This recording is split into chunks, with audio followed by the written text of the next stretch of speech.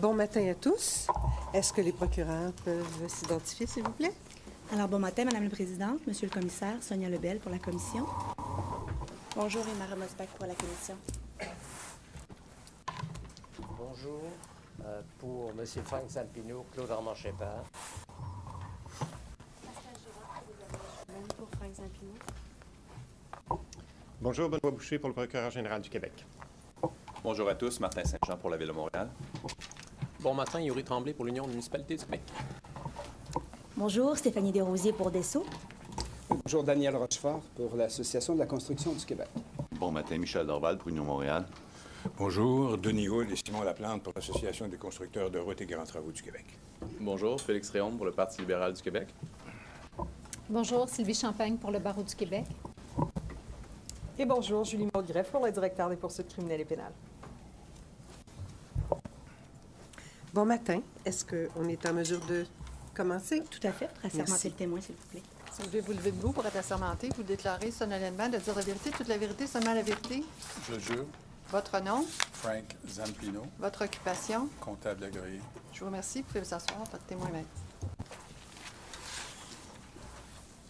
Madame la Présidente, euh, on m'avait demandé le nom d'un avocat la semaine dernière. Le nom m'échappait, ceux qui avaient fait le, euh, l'avis juridique euh, dans le dossier de Marc Aurel Fortin. On m'a posé la question.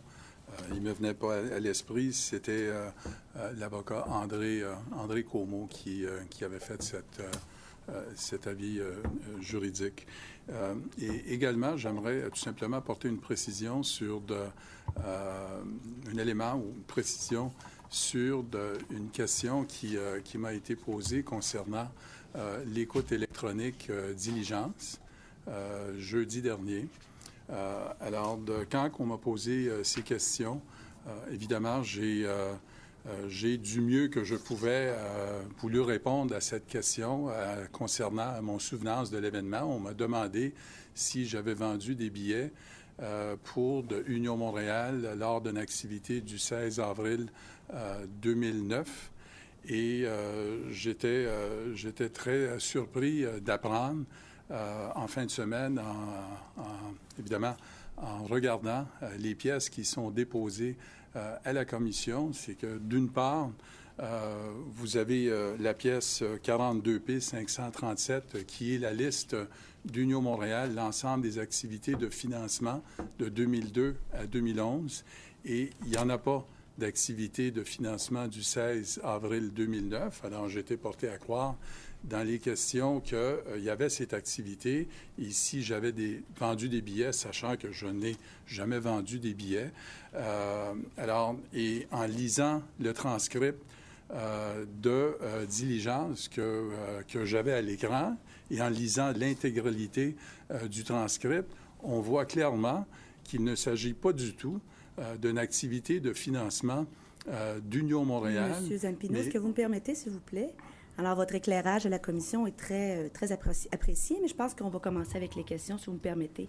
Peut-être revenir sur la... Si, vous me permettez, M. Lebel, on va juste le laisser terminer, puis on verra ce qu'il y a, ou les conclusions qui, qui ont à être tirés de cette information-là. C'est parfait, Madame la Présidente. Je veux simplement me dire que dans le questionnement de la procureure, on m'a demandé est-ce que en avril 2009, vous avez vendu des activités euh, des billets pour une activité de financement d'Union Montréal? Alors, moi, j'ai dit non. Euh, quand on m'a montré à l'écran la page euh, où mon nom apparaissait dans la, discussion entre l'homme inconnu et M. Lafortune, j'ai pas à l'écran un élément très important qui était la page antérieure. On parle de billets de l'Association euh, sportive et culturelle du Centre-Sud, qui est une association à but non lucratif qui gère un centre communautaire. Moi, je n'ai jamais vendu des billets pour cette association-là. Mais là où je me posais la question et la, raison de mon intervention, c'est je me demande pourquoi qu'on me pose des questions sur une activité de financement d'Union Montréal quand dans une pièce que vous avez même déposée à la, à, la commission, vous avez l'ensemble des activités de financement le 16 avril 2009. Est-ce que ça va? Et de plus, j'ajouterais pour terminer que, euh, d'ailleurs, je n'étais pas présent non plus à cette activité euh, de la l'association du Centre culturel du Centre-Sud le 16 avril 2009. Parfait. Est-ce que vous, vous, vous êtes prêt? Est-ce qu'on vous pose des questions maintenant? Oui. Parfait. Allez-y, Maître Lebel. Merci. Alors, moi, je vais reprendre ce matin, M. Zampino. Premièrement, bon matin. Bonjour. Bonjour. Alors, je vais reprendre ce matin peut-être avec la question de la collusion sur l'île de Montréal. Vous avez, on le comprend très bien, suivi la commission et étudié les pièces qui sont déposées. Est-ce que vous avez, d'ailleurs, je comprends, entendu les témoignages de l'automne dernier? À la commission, oui. Oui. La plupart des témoignages. Donc, vous avez entendu la majorité des entrepreneurs qui sont venus témoigner, dont M. Zampino, Zambito, pardon, Lino Zambito, témoigner à l'effet qu'il y avait un système de collusion au niveau des entrepreneurs sur l'île de Montréal. Vous, avez, vous êtes au courant de cette notion-là? Oui, j'ai entendu ça à la commission, oui. OK. Juste peut-être pour reprendre un petit peu sur le témoignage que vous avez rendu la semaine dernière, à la question que je vous ai posée, si vous aviez, outre les témoignages à la commission naturellement, au moment de votre passage à la ville de Montréal, que ce soit à titre de maire de Saint-Léonard à une certaine époque, ou plus tard, à partir de 2001, à titre de président du comité exécutif, je vous ai demandé si, à ce moment-là, des rumeurs ou des informations concernant un tel scénario, un scénario de collusion entre les entrepreneurs, étaient venues à vos oreilles. Vous m'avez répondu non, n'est-ce pas? Exact. Parfait. Donc, jamais dans vos fonctions à la Ville de Montréal, en tant qu'élu, on ne vous a rapporté une telle situation? Euh, jamais. On m'a rapporté euh, qu'il y avait un système euh, collusionnaire mis de l'avant par les entrepreneurs en construction. OK. Donc, le système de collusion, le système de partage des contrats, tel qu'il a été évoqué, entre autres, par M. Zambito, par certains autres entrepreneurs qui sont venus témoigner, par M. Surprenant également, par M. Leclerc, qui sont des ingénieurs de la Ville de Montréal, le partage des contrats dans le système des égouts, du pavage et des trottoirs. Ce n'est pas une information qui est parvenue à vos oreilles quand vous étiez à la Ville de Montréal. Pas à mes oreilles et non plus aux oreilles du comité exécutif. Il n'y a jamais eu de discussion au comité exécutif concernant cette possibilité qu'il y aura un système de collusion ou de partage de contrats des entrepreneurs en construction durant tout le temps que j'étais là entre 2002 et 2008. Donc, la première fois où vous entendez parler d'un tel système ou d'une telle possibilité, c'est au cours des témoignages devant la commission. Exact. OK. Pour ce qui est de M. Surprenant et de M. Leclerc, est-ce que ce sont des informations qui sont parvenues à vos oreilles? Que des fonctionnaires de la Ville de Montréal ou des ingénieurs pouvaient participer à un tel système ou en tout cas pouvaient être corrompus ou recevoir des avantages en retour de faveurs données à des entrepreneurs? On n'a jamais eu cette information, ni moi, ni les membres du comité exécutif. En votre présence? En ma présence, évidemment. Et les membres du comité exécutif n'en ont jamais discuté avec vous, c'est ce que vous nous dites? Jamais, ni à l'extérieur des, des portes du comité exécutif, ni à l'intérieur du comité exécutif. Parfait. Sans parler précisément de l'existence d'un système, est-ce qu'on vous a déjà discuté avec vous qu'il y aurait peut-être un potentiel de collusion possible? Même un potentiel? pas dans ces mots-là. on, a on m'a posé des questions la semaine dernière sur la question des coûts plus élevés à Montréal. je me rappelle d'avoir eu des discussions autour de la table, surtout suite à la fusion, parce que là, on avait des, des méthodes et des politiques qui étaient ceux des anciennes villes de banlieue avec ceux de l'ex-ville de Montréal. Et puis, souvent, on faisait la mention que ça semblait coûter plus cher à Montréal que dans nos villes et qu'au moment où les services préconisaient possiblement étendre les devis qu'on avait dans l'ex-ville de Montréal aux ex-villes de banlieue, il y a eu beaucoup de résistance justement pour éviter que ces coûts additionnels allaient se répercuter sur de nos, nos, villes de banlieue. Mais de signaux qu'il y avait peut-être un potentiel de, de, de, de cas de collusion, jamais même pas en indice quelque part. Jamais vous avez discuté ça avec personne. Jamais. Moi, personnellement, comme je vous dis, même pas au, comité exécutif, il n'y a personne qui est venu avec euh, un drapeau rouge ou une alarme à quiconque, le maire, moi, les membres euh, du comité exécutif, euh, pour de nous alerter ou nous aviser qu'on a un problème, il y a un système collusionnaire qui est en marche, il faut... On peut avoir un problème, qu'il faudrait faire, pour être prudent, mettre en place des, des, des processus pour essayer de de détecter la collusion. On vous a jamais parlé de ça. Oui, ça, j'en conviens. Il y a des, euh, des rapports qui sont soumis euh, aux, euh, aux, fonctionnaires régulièrement pour de traiter de la question, revoir les règles, les règles d'attribution de contrats, les devis. non, non, je vous parle de, de, de de cas où on aurait dit c'est louche un peu. Là. Peut-être que ça méritait qu'on se penche un peu plus sur la question. Ça, on, on ne vous a jamais dit ça. Directement au comité exécutif? À vous? Non. Je parle à vous. À moi, non. Jamais. Non. Jamais, personnellement. Et les fois où on a porté à vos oreilles euh, des dépassements de coûts ou le fait que sur le territoire de la Ville de Montréal, entre autres, les coûts de construction, particulièrement dans les travaux de la voirie, travaux publics, étaient peut-être de l'ordre de 20% plus élevés. Jamais on n'a fait une relation avec un possible marché fermé qui serait dû à un système d'entente des entrepreneurs. C'est ce que vous nous dites? Oui, je, répète, on ne nous a jamais alerté ou euh, déposé des drapeaux rouges, euh, ni à moi euh, personnellement, ni à moi devant le comité exécutif concernant ces, ces éléments-là. Jamais. Donc, ce système décrit par euh, les entrepreneurs qui sont venus témoigner, par les fonctionnaires qui ont avoué avoir reçu de l'argent devant la commission, qui semblait être reconnu et su de tous, n'est jamais parvenu à vos oreilles. Bien, quand, quand, vous dites connu et su de tous, euh, je ne suis pas sûr à qui vous vous référez, mais c'était pas connu. Euh, c'était pas connu au niveau des élus de la Ville de Montréal, c'était pas connu du maire de Montréal, euh, c'était pas connu par moi, par les membres du comité exécutif et, euh, et, je dirais la haute fonction publique. Parfait. Est-ce que vous étiez au courant euh, que les fonctionnaires, les ingénieurs, entre autres, et, bon, on parle surtout du département de la voirie, c'est ce qui nous a intéressés plus particulièrement cet automne, les travaux publics, que ces gens-là recevaient beaucoup de cadeaux euh, des entrepreneurs. Est-ce que c'était quelque chose qui était connu de la haute direction? Non, je l'ignorais. OK. Est-ce que vous saviez que ces gens-là recevaient de façon presque régulière à chaque année des bouteilles de vin? Si je le savais, non. Je ne savais pas qu'est-ce qu'ils pouvaient recevoir comme cadeau euh, de la part des entrepreneurs. Je l'ignorais. Avez-vous déjà, avez-vous déjà aperçu euh, des fonctionnaires de la Ville de Montréal à des tournois de golf où vous auriez pu être présent également? Non. À ma connaissance, j'ai ma souvenance, je n'ai euh, jamais participé à des euh, tournois de golf en compagnie euh, d'ingénieurs de la Ville de Montréal ou, d'entrepreneurs. OK.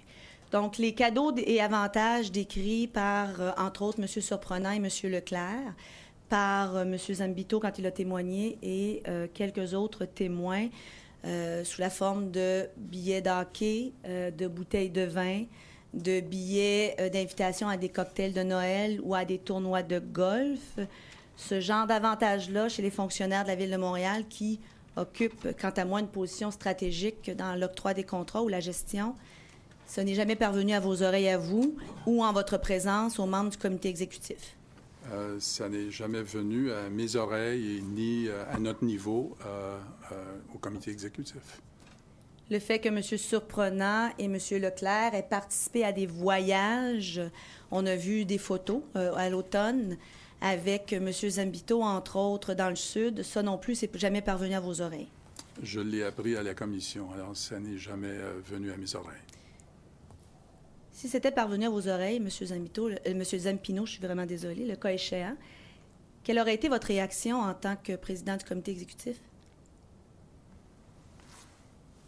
J'aurais sûrement eu une discussion avec euh, le directeur général, euh, fort probablement, et euh, lui demandais c'est quoi, c'est quoi, qu'est-ce qui se passe, c'est quoi, est-ce qu'on a un problème, et d'y donner suite. Est-ce que vous considérez que pour deux ingénieurs de la Ville de Montréal, occupant les postes que M. Surprenant occupait et M. Leclerc occupait, est-ce que vous considérez que cette proximité-là avec les entrepreneurs est, euh, est appropriée? Euh, sûrement, avec euh, tout ce que j'ai appris, je conclus que c'est n'est pas approprié, c'est sûr. OK. Alors, qu'est-ce qui pourrait être approprié? Est-ce que d'aller dîner avec des entrepreneurs alors qu'on gère un contrat qu'ils ont ou un potentiel de contrat qu'ils pourraient avoir, est-ce que vous considérez que c'est approprié? D'abord, je ne peux pas juger sur ce qui peut se discuter lors d'un dîner avec un, entrepreneur et un ingénieur de la ville. Ce qui est important pour moi, c'est que si euh, deux personnes se rencontrent pour faire avancer euh, un dossier quelconque, euh, les, limites, de ce qui doit être échangé dans ces conversations doivent être bien encadrées et puis qu'il n'y a pas d'informations privilégiées qui doivent être émises. Mais est-ce que vous considérez approprié qu'un ingénieur de la Ville de Montréal qui rencontre, probablement dans le cadre de son travail, pour discuter de travail, un entrepreneur, un ingénieur ou un quelconque une quelconque partie qui a des contrats avec la Ville de Montréal euh, se rencontre au moment d'un lunch et euh, se fasse payer son lunch? Euh, je répète, je répète que deux personnes se rencontrent pour faire avancer un dossier dans les meilleurs intérêts de la ville, c'est une chose. maintenant, j'ai compris qu'il n'y a pas eu de règles nécessairement dans, dans le département euh, en question. Alors, ça sera peut-être euh, mieux dans ces circonstances-là. Euh, que chacun paye son, lunch. Mais, ce qui est important d'emblée, d'emblée de dire, c'est que euh, ce qui est primordial, c'est qu'il n'y a pas d'informations privilégiées qui soient échangées lors de ces informations et que ce genre de rencontres doivent servir tout simplement, s'ils doivent se voir, à, faire avancer euh, leur dossier, si c'est dans le cadre de leur, euh, de leur fonction. Je n'apporte pas nécessairement un trop grand jugement sur, de, sur de qui doit payer la, la facture. Ne considérez-vous pas, M. Zampino, que ce genre de, de relation-là avec euh, des gens qui ont peut-être une relation contractuelle ou avec un ingénieur qui peut faire en sorte de favoriser l'avancement d'un dossier, favoriser l'octroi euh, d'une dépense ou d'une facture. On a appelé ça des extras devant la commission. On a tout fait la différence entre les contingents, etc. Mais pour bien se comprendre, je vais reprendre le vocabulaire de l'automne. Vous ne considérez pas que de recevoir des cadeaux, euh, d'aller en voyage, de recevoir des billets d'hockey, des bouteilles de vin ou de se faire euh, payer le lunch peut créer euh, une espèce de déséquilibre dans cette relation contractuelle-là? Dans la mesure où ces, ces, voyages ou ces échanges ou ces lunchs sont faits de façon euh, de façon à, ne pas respecter les cadres, euh, les cadres normaux et, euh, rigoureux de la ville. Alors, la réponse à la question, c'est oui. alors, si, si ces personnes-là se rencontrent pour régler des dossiers en suivant les, les, règles claires de la Ville de Montréal, je ne pense pas qu'il y, a, a là un problème. Si, au contraire, on voyage avec, euh, des personnes et puis le but de ces voyages, c'est d'arriver ultimement à trouver une façon de favoriser un entrepreneur quelconque ou de, euh, transgresser euh, certaines règles, alors c'est sûr que c'est à dénoncer. Mais Monsieur Zampino, vous êtes un professionnel, vous êtes membre de l'Ordre des comptables agréés, c'est exact? Oui. OK. Vous connaissez les notions de conflit d'intérêt et d'apparence de conflit d'intérêt, c'est exact? Oui. Bon ces notions-là ne sont pas mises en place pour rien. Vous êtes d'accord avec moi? Oui. OK. Et de garder une certaine indépendance d'esprit quand on fait affaire avec quelqu'un ou qu'on est dans un dossier avec quelqu'un ou un contrat avec quelqu'un, il y a une justification à ça, c'est exact? Euh, oui. Bon. N'êtes-vous pas d'accord avec moi, M. Zampino, qu'il est plus, plus difficile de dire non à quelqu'un qui nous invite à dîner, qui paye pour nous, qui nous offre des cadeaux, qui nous invite en voyage, ou même à un ami qui pourrait l'être avec quelqu'un avec qui on a une relation purement d'affaires? Euh, bien, ça dépend des individus. Ça dépend des individus. Oui. Donc, vous dites que ces règles-là ne sont faites que pour les individus qui sont faibles d'esprit? Je ne sais pas ça que j'ai dit. Je n'ai pas dit idiot, faibles d'esprit dans le sens que ne peuvent pas résister à cette pression. Bien, ce que je vous dis, c'est que euh, on peut euh, connaître du monde, on peut tisser des liens d'amitié. Euh, ce qui est important, c'est que ça ne vient pas influer sur les décisions qu'on apprend dans une ville. Alors, c'est ça que je vous dis. Ces personnes-là, dans la mesure où vous me dites font des voyages et reçoivent des cadeaux et par rapport à ce que j'ai compris en échange transgressent les règles, ben, bien, c'est complètement euh, Oui, à mais M. Zampino, Oui. vous conviendrez avec nous que les règles entourant les apparences de conflits d'intérêts sont bonnes pour, toutes, pour toutes les personnes. Oui. Bon, vous nous avez vous-même dit la semaine dernière que si vous aviez demandé à Petra, donc à Joe Borsellino, de verser 500 000 dollars de plus sur le contrat, c'était parce que vous ne vouliez pas avoir de problème avec les médias. Et vous nous avez dit à ce moment-là que tout était une question d'apparence. C'est ce que j'avais dit, oui. Alors donc, le fait d'aller, d'accepter un lunch, d'accepter des cadeaux, d'aller en voyage, euh, de, de faire ces choses-là avec des gens qui ont un lien entre eux, de con- contractuel, entre de l'argent public et un entrepreneur ou un ingénieur ou euh, qui que ce soit, mais qui a un lien public avec la ville, est-ce que vous ne considérez pas que c'est là, passer outre la frontière des apparences de conflits d'intérêts et, je dirais même, de conflits d'intérêts? Oui, je dirais d'abord et avant tout euh, de- de- d'apparence euh, de, conflit d'intérêts et conflit d'intérêts dans la mesure, dans la mesure où on transgresse euh, les règles, c'est clair. L'apparence de conflit d'intérêts, là, c'est pas dans la mesure où on, où on transgresse les règles. L'apparence de conflit d'intérêts, c'est l'apparence de conflit Oui, d'intérêts. c'est ce que j'ai dit. Alors, ouais, j'ai dit oui, l'apparence de conflit d'intérêts et oui, des conflits d'intérêts euh, purs et simples, là où on transgresse les règles. Continuez, Maître Lebel. Merci. Quand on parle de conflit d'intérêts, M. Zampino, on parle quand il y a un conflit d'intérêts réel. Vous êtes d'accord? Donc, quand euh, il y a eu effectivement division de la loyauté, si on veut, entre l'employeur et la personne avec qui on transige. Vous êtes d'accord avec moi? Quand on parle d'un conflit d'intérêts réel? Oui. Parfait. Si les règles d'apparence de conflit d'intérêts ont été mises en place, c'est au-delà du conflit d'intérêts réel. Vous êtes d'accord avec moi? Oui. Donc, ne convenez-vous pas, M. Zampino, que quand on est en relation d'affaires ou en relation contractuelle, quand tout va bien, tout va bien. hein, Quand on est, que ce soit un ami de l'autre côté ou un inconnu de l'autre côté, quand tout va bien, tout va bien. Mais qu'à partir du moment où il y a quelque chose à régler, qu'il y a une influence à donner ou une décision à prendre, ne pouvez-vous pas convenir, M. Zampino, qu'on peut être influencé par le fait qu'on a des relations plus particulières qui dépassent le cadre des affaires avec quelqu'un, même inconsciemment? Euh, ça pourrait arriver, mais comme je vous dis, euh, c'est réellement en fonction des attitudes et des façons de faire de l'individu. Mais oui, euh, je réponds oui à la question. OK. Donc, ça va avec la- le caractère ou la personnalité de l'individu si, on est si on est capable de résister à cette, euh, cette impulsion-là de favoriser quelqu'un ou d'avantager quelqu'un, c'est ça? Exact.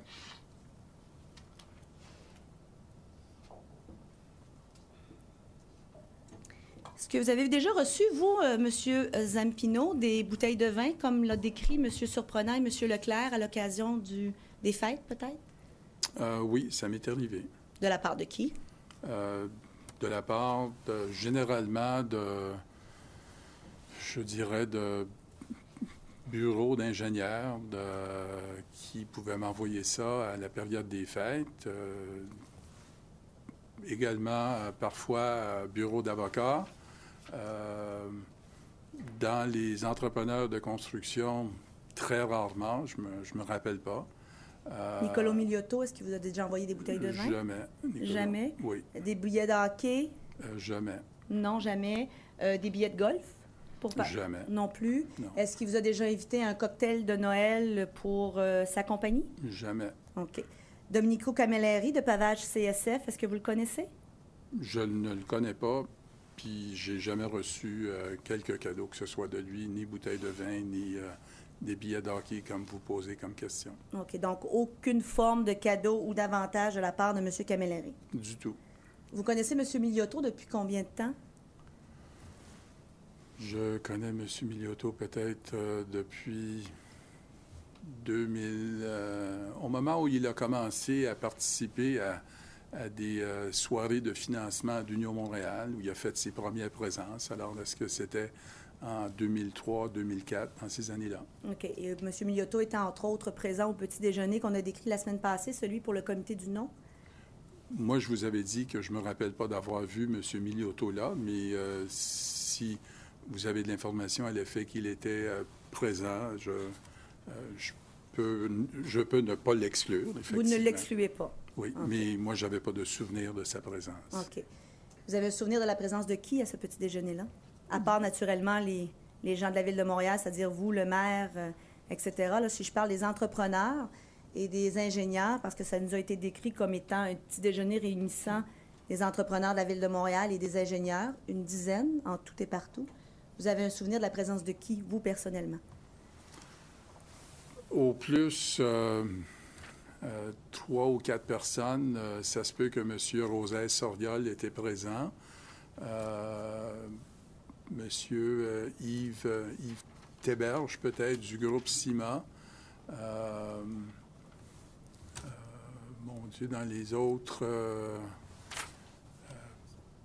possiblement Michel Lalonde, mais je suis moins sûr. Il y avait, je pense, monsieur, un nommé Gilles, Gilles Hébert, qui aidait aussi un peu au financement. C'est un, c'est un avocat, mais je pense qu'il était plus à la retraite en cette période-là. Euh, et puis, il y avait plusieurs personnes euh, que vous avez déjà mentionnées, le maire, moi-même, monsieur Leduc, je crois, possiblement monsieur euh, Dauphin, quelques autres élus. Alors, on était 10 à 15 personnes, mais je ne peux pas réellement vous... confirmer le nom exact de toutes les personnes qui étaient présentes à cette activité. Et vous n'avez, avez-vous souvenir ou êtes-vous au courant du prix que ces entrepreneurs et ingénieurs-là ont dû débourser pour ce privilège de déjeuner avec vous? Non, je n'ai pas de souvenir de ça. Là, vous parlez Je spécifiquement. parle spécifiquement du petit déjeuner qui a lieu, je pense, au Saint-Denis, je ne vais pas me tromper, euh, pour le comité du nom qu'on a décrit la semaine OK, passée. dans le cadre des diffusions. Je Dans le cadre des diffusions, effectivement. Je ne me rappelle pas le, le prix qui a été demandé. OK. C'est pas quelque chose euh, auquel vous avez pris part, ça, de, de fixer, si on veut, euh, le coût de l'admission à ce déjeuner privé? Non, pas du tout. OK. Ça relevait du parti. OK. Monsieur Miliotto, vous dites que vous l'avez rencontré lors de certaines activités de financement, dont celle dont on vient de parler, c'est exact? Oui. Et est-ce qu'il a déjà été présent également au RIS, je pense, pour certaines activités de Saint-Léonard? Oui, mais c'est justement de ces activités dont je parle. Quand on passe, ce n'est pas des activités de Saint-Léonard. Le parti euh, Union Montréal faisait un grand cocktail annuel et la tradition voulait que ça, ça se fasse à la salle de réception Le Riz qui se trouve à Saint-Léonard. C'est le cocktail, le cocktail annuel euh, de- de- du maire de Montréal euh, où il est président d'honneur avec ma présence également. Est-ce qu'il y a des cocktails euh, également pour euh, l'arrondissement Saint-Léonard plus particulièrement qui ont lieu à cet endroit-là? Ah, il y en a sûrement eu, pas nécessairement euh, au Ritz. Je pense qu'il y en a eu également au Ritz. Ça se peut qu'il y en a eu ailleurs aussi. là. Ça, il- euh, ça, je ne peux pas être sûr à 100 Alors, il y a eu d'autres activités au fil des ans. Une activité, euh, je ne sais pas, à 30 de, des, activités un peu plus euh, populaires où c'est euh, plus...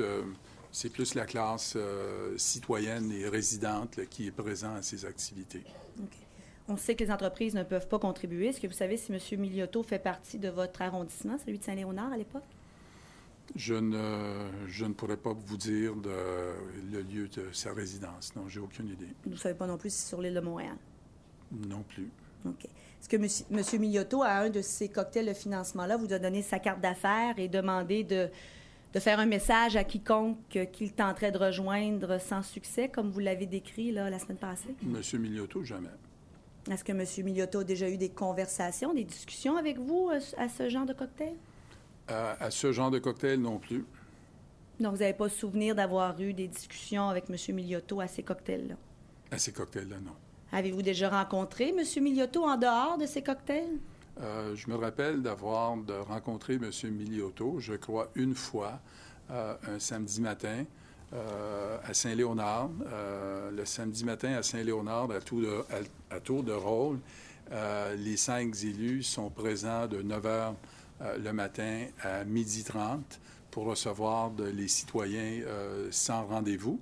Euh, c'est un samedi, pardon, excusez-moi, vous Oui, c'est toujours un samedi. Mm-hmm. Euh, d'ailleurs, ça continue même avec euh, la nouvelle administration à Saint-Léonard. Simplement pour mieux comprendre, M. Zampino, est-ce que c'est à tous les samedis, un samedi par mois ou oui, c'est sur quelle base? Tout, ben, quand j'étais là, je demandais à mes élus d'être là à tous les samedis à tour de rôle. à tour de rôle. À tour de rôle. moi, j'étais là, évidemment, à tous les cinq samedis parce qu'on était cinq, cinq élus et ça permettait, évidemment, de recevoir de, bon, les doléances, toutes sortes de doléances des citoyens, des commerçants ou peu importe sur des dossiers de, euh, de Saint-Léonard. Et je me rappelle qu'il avait euh, fait une, visite euh, lors de ces rencontres un samedi matin. et puis, il m'avait parlé, c'était un dossier personnel de Saint-Léonard. Je crois que c'était un membre de sa famille qui avait fait application sur un poste qui avait été affiché euh, à Saint-Léonard. On parle maintenant de, de, 7-8 ans. Là. Euh, et puis, euh, ce qu'il m'a demandé, est-ce que c'est possible que cette personne-là puisse au moins avoir une entrevue avec l'équipe de ressources humaines pour qu'il soit entendu? Alors, je ne me rappelle pas le lien entre M. Miliotto et cette personne. Est-ce que c'était quelqu'un de sa euh, famille? Est-ce que c'est quelqu'un de la famille d'un ami à lui? Je ne me rappelle pas du tout le nom. Euh, moi, j'avais tout simplement pris le, euh, CV qu'on m'avait remis. dans le temps, je l'ai soumis au directeur général de l'époque qui ont donné suivi. Alors, le souvenir que j'ai, c'est que cette personne a fini par avoir une entrevue, mais il n'a pas obtenu le poste. Alors, c'est ce qu'il m'avait demandé euh, évidemment, euh, comme intervention, si on pouvait aider cette connaissance de M. Miliotto. Êtes-vous effectivement intervenu dans le processus ou il a obtenu l'entrevue par le processus euh, habituel? moi, comme je vous dis, quand je reçois des demandes semblables, je donne ça à mon adjointe avec une note. Elle donne ça au, au directeur général. voici, monsieur un tel est venu. Il y a un processus de, processus de sélection. Euh, monsieur demande s'il y a opportunité à ce que cette personne-là euh, soit reçue en entrevue euh, sans autre intervention. je vous dis la conclusion de l'affaire, c'est que j'ai su que cette personne a obtenu l'entrevue, et qu'il n'a pas été embauché. Maintenant, si votre question, c'est de savoir est-ce qu'il euh, a eu l'entrevue à cause d'une intervention de ma part, ça, je ne peux pas vous le dire. Est-ce que ces personnes-là allaient le rencontrer euh, quand même? Je n'ai pas d'informations Qui vous a appris la suite des événements? Ah, c'était euh, fort probablement mon directeur général du temps. Euh, là, il faut que je me... Le directeur général à Saint-Léonard. Oui, le directeur général d'arrondissement, c'est ça. Et ça, ça, ça, se situe à quelle époque? À l'époque, vous étiez maire, euh, oh, avant les fusions, ou à l'époque, vous étiez président Non, parce que, comme je vous dis, euh, j'ai connu M. Miliotto dans les premières années 2003-2004. Alors, fort probablement, c'était dans ces, ces périodes-là. Alors, là, je, j'essaie juste de me souvenir, il y a eu beaucoup de de directeurs généraux qui ont changé depuis. On avait euh, euh, M. Gérard Soulard, on avait M. Claude Brunel, ensuite on a eu Gilles Rainville vers la fin. Alors c'était soit, ça se peut que c'était dans le temps de, de M. Gérard, Gérard Soulard, dans les premières années. C'est après que vous ayez vu ou entrevu M. Miliotto là, à quelques cocktails de financement? Oui, c'est ça. Et le fait qu'il participait à vos cocktails de financement, est-ce que ça vous a rendu peut-être plus enclin à faire suivre sa requête? Bien, pas du tout. Euh, moi, comme je fais habituellement, euh, d'ailleurs, c'est la même chose pour tout autre euh, citoyen qui venait ces samedis matins. Alors, moi, je suis là entre 9 heures et, 1 heure. J'ai une adjointe qui prépare, évidemment, une liste des noms, exactement c'est quoi l'intervention qui, qui, est demandée. Ensuite, moi, je soumets ça à, mon équipe, mon équipe de soutien. Et eux, le lundi matin, euh, font, euh, euh, dans le fond, un inventaire de tout ce qui doit être soumis aux différents services. On voit de tout, là. On voit d'une... euh, un cas comme ça, on voit d'une vieille dame qui vient aussi euh, prêcher pour de- son garçon là, qui n'a pas d'emploi, puis cherche quelque chose. On voit des gens qui viennent parce qu'ils ont euh, un arbre devant chez eux et puis ils se demandent quand est-ce que la ville va le je pense que c'est pas vraiment nécessaire de nous expliquer en long et en large toutes les doléances de tous et chacun. Oui, madame. Moi, je- Mais j'essaie de vous expliquer comment je Ouais. procède. Alors, c'est euh, en réponse à la question, peut-être de façon plus, euh, euh, plus précise. Euh, non, je reçois cette demande et puis je soumets ça à la machine, puis les fonctionnaires, les fonctionnaires s'en occupent. Ce n'est pas une pression pour dire vous allez absolument ac- accorder une entrevue à cette personne ou encore moins embaucher cette personne. Ils doivent se soumettre à un processus. Donc, sans reprendre, M. Zampino, toutes les explications que vous nous avez déjà données là, sur la façon dont vous agissez à maintes reprises, je comprends que votre réponse est que vous n'êtes pas influencé dans vos actions par le fait que quelqu'un est un généreux donateur ou non à Union Montréal. Pas du tout. Et que pour vous, que l'on donne ou non à votre parti politique, municipal naturellement, je parle toujours d'Union Montréal quand je le désigne comme tel, n'a aucun, n'a aucun effet sur les décisions que vous prenez. Du tout. Ce n'est pas ça qui m'influence. OK. Donc, vous êtes capable de résister à cette impulsion. Ni le fait que ce soit un partisan d'Union Montréal. Ah, ni le fait que ce soit un partisan de l'Union Montréal. c'est ça. Donc, je comprends que vous ne partagez pas la même philosophie que votre ami de toujours, M. Trépanier, qui nous dit qu'un ami du parti, c'est un ami du parti.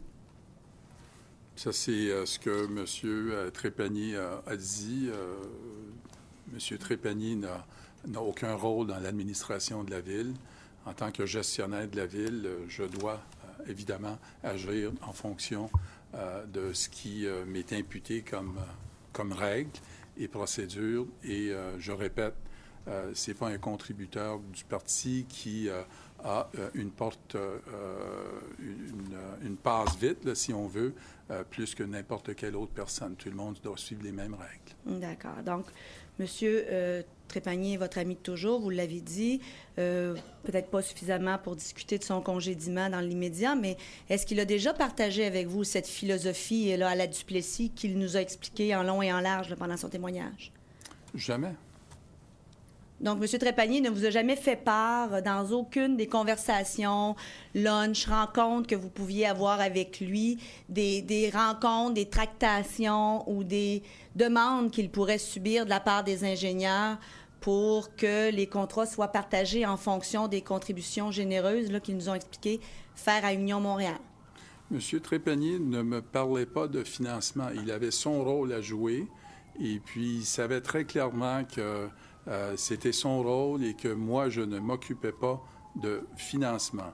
Euh, J'avais au départ mentionné à Monsieur, euh, à monsieur Trépanier que je ne voulais pas voir la parade des entrepreneurs, des promoteurs ou des ingénieurs euh, dans mon bureau et euh, qu'on on fait clairement la distinction entre moi euh, et la ville et l'ensemble des élus qui sont là, évidemment, pour digérer- digé- di- diriger une ville et le financement du parti qui a des objectifs, évidemment, de faire de la cueillette des fonds pour de- des prochaines campagnes électorales. Donc, vous étiez complètement tenu à l'écart, outre les quelques petites sollicitations que vous aviez là, en temps, d'élection, on s'entend. En temps normal, vous étiez complètement tenu à l'écart du financement d'Union Montréal, du day-to-day business, si on veut, par rapport à ça. Dans le quotidien, absolument. Je n'ai euh, rien à faire. Monsieur, euh, monsieur- je pense que M. Trépanier a dit qu'il organisait, il portait beaucoup d'attention à, à la grande activité euh, euh, annuelle. Je me rappelle euh, souvent le maire, moi-même, euh, je lui disais, est-ce que ça va bien? Est-ce que vous allez rencontrer vos objectifs? C'était plus des commentaires pour l'encourager, euh, évidemment, à atteindre ses objectifs, mais, euh, Donc, je mais comprends pas plus bien que ça. vous étiez intéressé à poser des questions, mais pas à avoir les réponses. Mais c'était plus ce que je dirais de la motivation, Madame la Présidente. Alors, quand je m'adresse à M. Trépanier pour lui dire euh, l'activité s'en vient, ça va-tu bien, euh, euh, es-tu content, est-ce que tu vas atteindre dis. Donc, objectifs? les réponses, vous ne vouliez pas les avoir. Bien, j'avais les réponses. Il me disait que ça allait bien, ça allait bien, ça allait bien. Puis Et quand dit- vous dites que vous ne vouliez pas avoir la parade des ingénieurs devant votre bureau, comment faites-vous pour dire qu'il y avait une parade d'ingénieurs ou d'entrepreneurs, euh, d'ingénieurs au bureau? Ben, c'est, euh, je vous ai déjà mentionné, quand on, acti- quand on participe à ces, euh, à ces événements, ces grands cocktails, le maire est là, je suis là. J'ai dit au bureau. Vous ne vouliez pas voir Oui. la parade des ingénieurs Oui, à votre bureau. C'est ce que vous aviez dit oui, à M. Trépanier. oui. Alors, Qu'est-ce comme- qui a amené ce commentaire à M. Trépanier, dans le fond? Bien, ce qui a amené ce commentaire, c'est que Monsieur, euh, Monsieur Trépanier semblait avoir une grande proximité avec ces, euh, ces personnes-là. Et vu sa proximité avec moi, euh, je, je lui ai clairement dit, je ne voudrais pas que vous proposiez des rencontres avec ces contributeurs avec moi. Alors, c'est pas parce que on est amis euh, que, euh, que je vais commencer à entendre des doléances ou faire des présentations euh, comme ça, etc. Alors, c'était ça la, la règle que je me suis imposée avec lui. Alors, lui faisait du financement, moi, je m'occupais de la gestion de la ville et je voulais éviter, justement, quand je parle de ce parade-là, c'est que M. Trépanier organise euh, avec euh, ses euh, contacts, ingénieurs ou promoteurs ou autres, bon, je vais vous organiser une rencontre avec, avec M. Zampino, c'est mon chum. Alors, ça, je refusais de faire ça. Alors, je lui ai dit au départ, et ça a toujours resté comme ça. Est-ce que M. Trépanier vous a fait part de commentaires des ingénieurs? Parce qu'on sait qu'il en rencontrait beaucoup. Il l'a admis d'ailleurs devant la commission. Il était en contact avec euh, M. Lalonde, M. Soriol, euh, M. Cadotte, et j'en passe, naturellement. Est-ce qu'il vous faisait part de ces discussions-là? Tant qu'à éviter la parade, vous en faisait un petit résumé? Jamais. Jamais. Donc, euh, vous aviez non plus jamais de discussion concernant ses rencontres à lui ou la façon dont il euh, gérait la parade, si on veut. Jamais. Monsieur Trépanier s'occupait du financement du parti. Je ne m'occupais pas de financement de parti. J'avais une ville à gérer, j'avais déjà assez dans mon assiette. Et il savait que je ne voulais pas m'occuper de ça. Et je ne lui posais pas de questions et lui ne me posait pas de questions non plus. Mais compte tenu là, de la mentalité de M. Trépanier, que je ne remets pas en question, mais il nous a expliqué sa philosophie, un donateur du parti, un ami du parti, faut qu'il y ait un retour d'ascenseur. Naturellement, c'est mes termes, pas les siens, euh, à la Duplessis, comme on le connaît. Il nous a expliqué tout ça, le M. Trépanier. C'est tout un personnage, d'ailleurs. Et c'est votre ami depuis toujours. Il ne vous a jamais, n'a jamais essayé de vous faire part d'une demande d'un ingénieur qui donnait là, jusqu'à des 10 000, 15 000, 25 000 On a vu des 250 000 euh, 100 000 euh, au parti. Jamais il a tenté une approche auprès de vous pour vous faire part de ça ou essayer d'organiser une rencontre. C'est ce que je vous dis. C'est ce que je vous dis. Il m'en a jamais parlé. Et puis, il avait les instructions claires pour ne pas en- m'en parler. Alors, moi, j'ai, je répète, je ne m'occupais pas de ça. Pourquoi avez-vous senti le besoin de lui donner ces, instruc- ces instructions si claires? Parce que, en tant que président du comité exécutif, je ne voudrais pas, nullement, aucunement, être influencé par un contributeur du parti euh, dans une, une rencontre éventuelle que lui euh, pourrait organiser. Alors, de- si quelqu'un a décidé de contribuer au parti, mais c'est son choix de contribuer au parti. Je pense qu'il n'y a personne qui l'oblige de le faire. Mais il y a une chose entre contribuer au parti, puis ensuite aller voir euh, des gestionnaires à la Ville de Montréal pour tenter d'influencer sur, euh, sur des dossiers ou sur l'octroi des contrats ou sur le partage d'informations privilégiées. Ça ne se passait pas. Alors, c'est pour cette raison que je disais que je ne voulais pas voir ce genre de rencontre euh, organisée par M. Trépanier. Et c'est aussi, euh, dans cette optique-là, donc, c'est aussi parce que vous connaissez la philosophie de M. Trépanier. C'est votre ami, vous ne pouvez pas ne pas savoir quelle était la philosophie de M. Trépanier. Je suis obligé de dire de Madame euh, la Présidente que j'en ai euh, appris beaucoup plus à la Commission sur de sa philosophie euh, que euh, du temps, euh, évidemment, qu'il était chez Union Montréal. Il ne me parlait pas Oui, c'est pas la question. de là. ça. La question, c'est que vous alliez dîner avec lui, vous alliez souper avec lui, vous jouiez au golf avec lui. Alors, vous étiez son ami et son ami intime. Alors donc, je comprends que vous connaissiez sa philosophie, mais parce que vous connaissiez sa philosophie, vous ne vouliez pas savoir qui étaient les personnes qui donnaient, Non, pour euh, ne pas vous laisser influencer. C'est ce que Non, je vous dis? Oui, non, je ne pourrais pas euh, euh, acquiescer à ça, Madame la Présidente. Quand vous dites que je connaissais sa philosophie, on parle de quelle philosophie? philosophie de donner au parti. La philosophie de ceux qui contribuent le plus euh, sont plus enclins à obtenir des contrats et ceux qui euh, contribuent à Union Montréal vont, euh, c'est ce qu'il nous a dit là, euh, vont recevoir euh, des contrats. Oui, et je suis obligé de vous dire, Madame la Présidente, que non, je ne connaissais pas cette philosophie. Parce que d'une part, d'une part, euh, ce n'est pas M. Trépanier qui a la responsabilité de la gestion contractuelle à la Ville de Montréal. C'est une fonction publique et l'ensemble, l'ensemble des instances. Alors, si M. Trépanier allait me dire, mais M. Zampino, on va euh, donner à un tel, à un tel, à un tel, euh, mais Bernard, c'est pas comme ça que ça marche. Il ne m'en parlait pas. Alors, de- j'ai, disons que j'ai appris Alors, je beaucoup de comprends que vous choses. vous seriez insurgé si vous aviez appris une chose comme celle-là. Bien, c'est sûr. OK. Monsieur Trépanier, est-ce qu'il occupait une fonction officielle à la Ville de Montréal? Non, il était membre d'Union Montréal et directeur du financement. C'est sa fonction. Sa fonction, oui. À part ami, là, on s'entend, je parle de fonction officielle, c'est sa fonction. Directeur du financement ou responsable du financement d'Union Montréal. Exact. Est-ce qu'il occupait une fonction officieuse auprès de vous? Pas du tout. Conseiller? Pas du tout. Est-ce qu'il avait affaire de près ou de loin dans les affaires de la Ville de Montréal? Non. Il s'occupait du financement de- d'Union Montréal. Il était le directeur de financement. Sa seule fonction? C'était sa seule fonction. On revient aux entrepreneurs. Donc, vous avez reçu, vous dites, euh, à certaines périodes, dans la période des fêtes, entre autres, des bouteilles de vin, de spiritueux, des paniers cadeaux. C'est exact? Euh, oui. Donc, est-ce que- je vais vous aider un peu. Monsieur Piazza, de TGA, est-ce qu'il vous a déjà envoyé de tels cadeaux? Jamais. Jamais. Monsieur Borsellino, on en a un troisième, le BP Asphalte. Je ne parle pas de Garnier ni de Petra. Je parle de Monsieur Borsellino de BP Asphalte. Est-ce qu'il vous a déjà envoyé de tels cadeaux? Bouteilles de vin, panier cadeau? Jamais. Jamais. Est-ce que c'est un individu que vous connaissez en Ah. dehors de vos fonctions?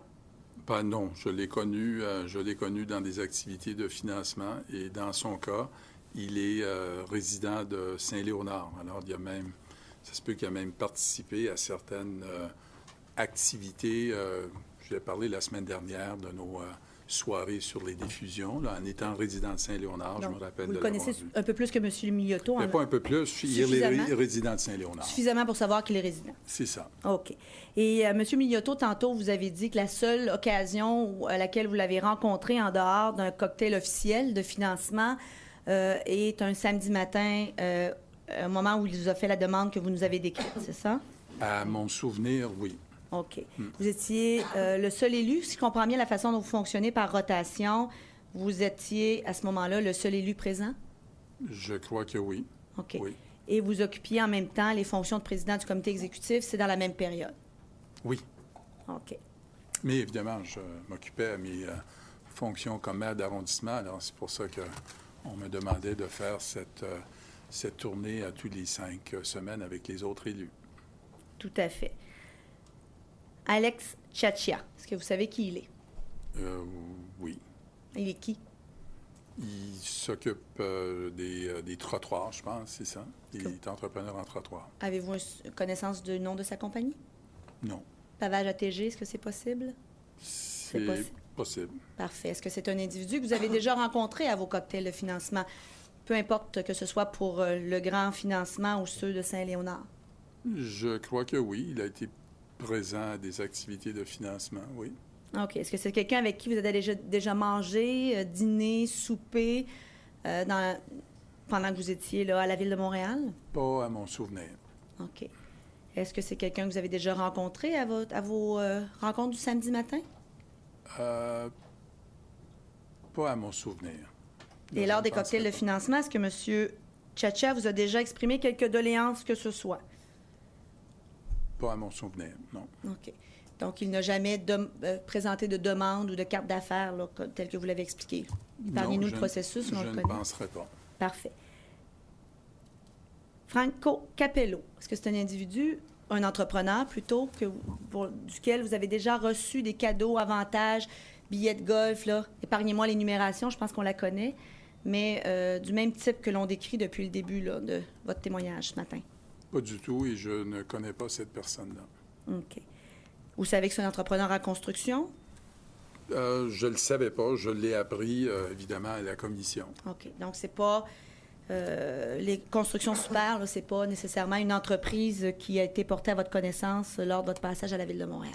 Pas beaucoup. Et Maintenant, est-ce qu'il y a eu au comité exécutif des résolutions où il y a eu des euh, octrois de contrats suite à des sommets décisionnels à cette compagnie-là? Ça se peut, mais le nom de la compagnie est l'associé à un individu quelconque, là, mais complètement... Ça n'a pas frappé euh, votre mémoire? Pas familier, oui. OK. Paolo Catania de Quatre-Camps, cette fois-ci, est-ce que c'est quelqu'un que vous connaissez bien? Euh, ben, si je connais bien, oui, je connais qui est euh, Paolo Catania. C'est le fils de, de Tony Catania, le fondateur de la compagnie. Parfait. Est-ce que c'est un individu que vous avez déjà rencontré, euh, soit dans un cocktail ou dans le cadre de vos fonctions? Dans un cocktail, oui. Dans un cocktail. Euh, il me semble que j'ai un souvenir de l'avoir rencontré également. Euh, il avait demandé une rencontre à mon bureau et là, je, je ne me rappelle pas quelle année. Est-ce que c'était 2006, 2007? Euh, mais j'ai pas beaucoup de souvenirs de cette, de cette rencontre-là. Est-ce que c'est quelqu'un pour, avec lequel vous alliez luncher, souper de temps en temps? Euh, Paolo Catania, je crois que j'ai lunché avec lui euh, à, à Saint-Léonard aussi, il y a peut-être euh, 4-5 ans. Il y a 4-5 ans? Il y a 4-5 ans, je crois. là. OK. Est-ce que vous Ben, avez il y a sou- 4-5 ans, maintenant, on est en 2013. Là. Euh, votre 5 ans par à quelle quand date? je dis là? oui, c'est ça. Euh, quand- parfois, je dis 4-5 ans, là, mais euh, parfois, je me réfère à, mon, à, à ma date de départ. Mm-hmm. Euh, ça se peut dans les années euh, 2006 ou euh, 2007 euh, que j'avais rencontré cette personne-là lors d'un lunch à, à Saint-Léonard. Quel était l'objet de ce lunch-là? Je ne me rappelle pas du tout. On était deux personnes. Moi, je pense que c'est euh, c'est une des premières fois qu'on se rencontrait. Il voulait tout simplement se, euh, euh, se présenter. Moi, je pense qu'il faisait du développement des affaires. Il voulait, avoir un entretien plus informel avec le président du, comité exécutif. Alors, je l'ai peut-être vu lors d'un financement. Et puis, il m'a donné sa carte. Il m'a dit Accepteriez-vous qu'on puisse partager un lunch ensemble quand vous aurez de la disponibilité? Et puis, j'ai, je l'ai fait. Mais il n'y avait aucun dossier particulier qu'on avait discuté. Alors, aidez-moi à comprendre, M. Zampino, pourquoi vous faites objection à M. Trépanier? C'est très clair, vos instructions, que vous ne voulez pas rencontrer quelqu'un qui fait du financement. Et lors d'un cocktail, un entrepreneur vous donne sa carte et vous acceptez d'aller luncher avec lui. Expliquez-moi la différence. Ben, je ferai la grande distinction. là. Quand, quand, quand M. Trépanier euh, m'appelle euh, normalement euh, pour de proposer une rencontre avec, euh, avec un entrepreneur quelconque, fort probablement, c'est parce qu'il y a un problème ou il y a quelque chose euh, à, régler et je ne voudrais pas m'occuper de ces éléments-là. Euh, quand je suis à un cocktail de financement et quelqu'un me dit tout bonnement, M. Zampino, on n'a jamais eu l'occasion de partager un lunch ensemble. Euh, J'aimerais qu'on puisse euh, le faire. Euh, Il n'y a pas d'urgence. À votre disponibilité, euh, je donne ça à mon adjointe. On peut l'appeler pour lui donner rendez-vous un mois, deux mois, trois mois plus tard. Alors, c'est fait. C'est plus par courtoisie. Euh, J'ai déjà dit, euh, j'ai déjà dit que euh, euh, je, suis président du comité exécutif et que je ne me suis, euh, dans le fond, euh, jamais euh, caché euh, pour rencontrer euh, des personnes qui euh, travaillent dans notre ville et qui peuvent avoir quelque chose à contribuer dans notre ville. Alors moi, je n'ai pas de préjugés. Alors je rencontre ces personnes. C'est des lunchs souvent qui euh, vont durer euh, euh, 50 minutes ou une heure, et puis euh, c'est fini. Mais il n'y a, rien qui transpire suite à cette rencontre. Alors, si je comprends bien ce que vous nous dites, euh, et je résume, quand la demande pourrait potentiellement, euh, une demande de rencontre de la part d'un entrepreneur ou d'un ingénieur passe par M. Trépanier, immédiatement, vous faites l'équation financement, retour d'ascenseur, pré- euh, pression, influence. Mais quand la demande vient directement de l'entrepreneur lors d'un cocktail de financement, il redevient un citoyen. C'est exact?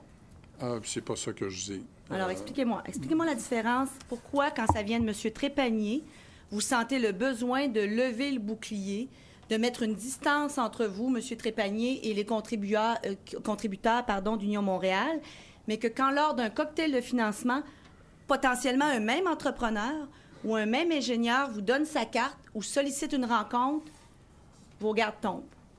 Euh, écoutez, euh, je vous ai mentionné que dans le cas de M. Trépanier, vu qu'il est très actif en matière de financement, je lui donne, je répète, les instructions claires que je ne veux pas euh, qu'on tente d'organiser des rencontres avec des contributeurs à mon parti, c'est-à-dire à, mon bureau, des rencontres avec moi à mon bureau.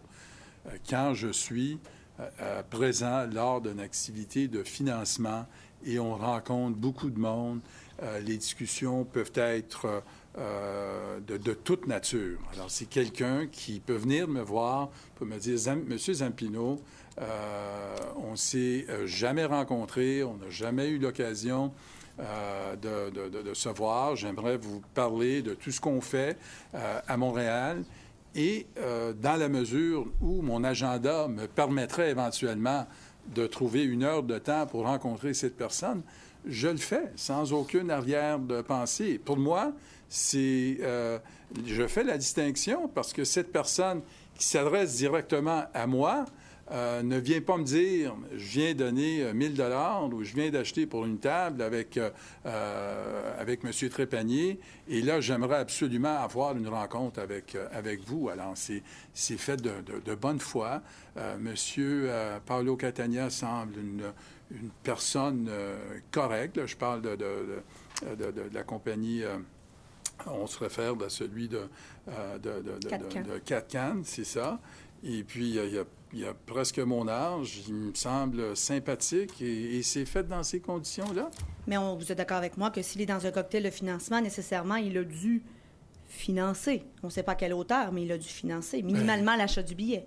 Oui, mais fort probablement, oui. Fort probablement. Donc, à partir du moment où le mot financement n'est pas mentionné dans une demande de rencontre ou qu'on n'en fait pas un lien direct et que ça reste non dit, il n'y a pas de problème. C'est votre interprétation, euh, Madame. Ben, je vous pose la question. Vous pouvez me répondre oui ou non. É- Écoutez, moi, c'est euh, c'est pas parce que euh, il a été présent à une activité de financement. Je l'ai déjà dit la semaine dernière que quand je me présentais là, de façon générale, ce sont tous des personnes qui ont contribué euh, au parti parce qu'ils sont, ils sont présents.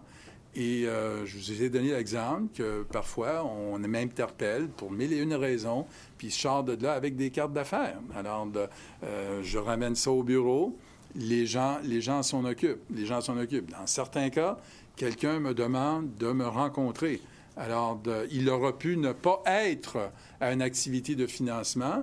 Il aura pu, euh, comme dans un autre exemple qu'on a utilisé, euh, pardon, qu'on aurait utilisé la semaine dernière, appeler directement à mon adjointe, euh, je pense comme M. Joe Borsellino de Garnier avait fait, et puis là, demander si euh, il peut voir de, euh, s'il peut me voir à, mon bureau. Alors, moi, je ne vois pas nécessairement cette distinction. Alors, que M. euh, Borsellino passe par mon adjointe pour avoir un rendez-vous, sachant qu'il a fort probablement déjà participé à une activité de financement et que M. Paul Catania de Catcan est une activité de financement et demande si j'aurai le temps, euh, tout dépendamment de, mon horaire, à luncher avec lui, euh, je vois pas la grande différence. Ce qui est important, c'est qu'on on écoute ces gens-là, et c'est pas parce que euh, ils ont contribué au parti qu'ils ont une oreille plus attentive. C'est ça le message. qui est- OK. Ce qui est important, c'est que vous n'avez jamais cédé à, cette- à ce type d'influence-là. C'est ce que vous nous dites? Exactement. Qu'est-ce qu'on dit maintenant du fait que ces deux personnes-là ont beaucoup de contrats à la Ville de Montréal? Alors, qu'est-ce qu'on dit du fait que, euh, que vous allez luncher avec eux au nom de la notion d'apparence de, conflit d'intérêts? Est-ce que ça, ça vous semble correct? Madame la Présidente, la meilleure façon pour moi de, de répondre à cette question, euh, c'est de dire que nous sommes euh, des élus et nous avons une responsabilité comme élus de faire avancer les grands dossiers à la ville. Alors, le, président du comité exécutif peut aller luncher sans aucun problème de conflit, d'apparence de conflit d'intérêts avec deux des personnes qui ont le plus de contrats à la Ville de Montréal. Ça cause pas de problème dans votre esprit. Euh, si on, euh, si- Madame la Présidente, là, si on se met dans le contexte de, de tout ce que vous faites actuellement euh, comme commission, puis tout ce qui a été dévoilé, je comprends que des règles vont changer, il va y avoir des recommandations. Mais moi, j'ai agi comme les autres élus ont agi et comme les présidents du comité exécutif devant moi ont agi. C'était toujours de la même manière, sans arrière-pensée.